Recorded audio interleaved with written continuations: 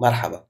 ما صار غاية المفروض تتذكرون ال private وال public access modifiers. بهذا الفيديو راح نتعلم access modifier جديد واللي هو ال protected.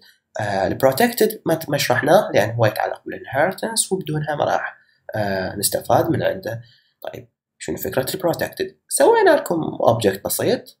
راح أجي أقول له مثلا post. هذا من نوع HD فيديو فممكن أقول له video link 360 لأن ال HD ممكن أرجع بيه هو يعني لأن هو يرث من من؟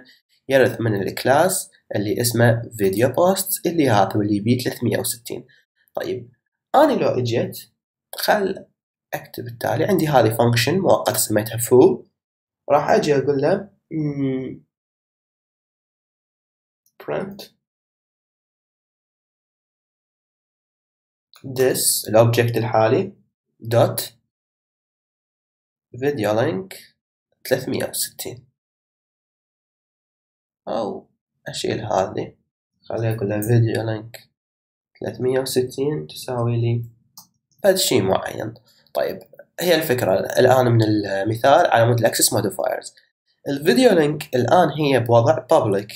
طيب من هي public أنا دا أقدر أوصل لها من داخل ال class نفسه خلي أسوي function from class.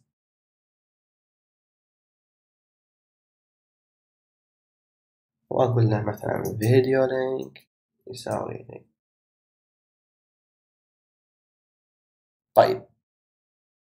من داخل ال class أقدر أوصل لها؟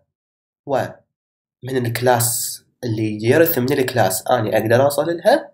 وأيضا من أي مكان خارجي أني دا أقدر أوصل لها. خلينا نقول يساوي لنا شيء.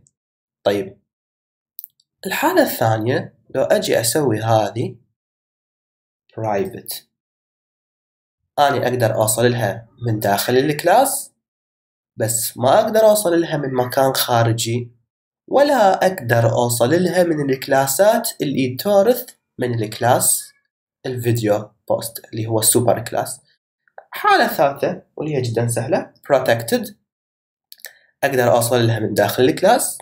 ما أقدر أوصل لها من الخارج. وأقدر أوصل لها من ال classات اللي ترث من هذا ال class.